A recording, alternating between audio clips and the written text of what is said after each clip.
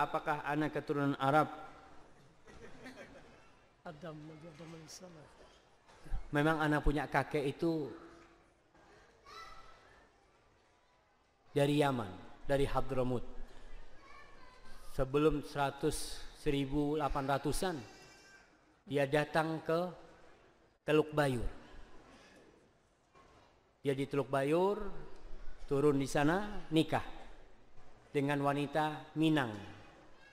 Dari sana ke Jakarta. Anak keturunan dari Jakarta ada yang kesasar di Jember. Saya termasuk yang nyangsang di Jember. Tapi saya orang Indonesia, bukan orang Arab jemaah. Apa sih bedanya orang Arab sama Indonesia? La fadla Arabin ala ajami.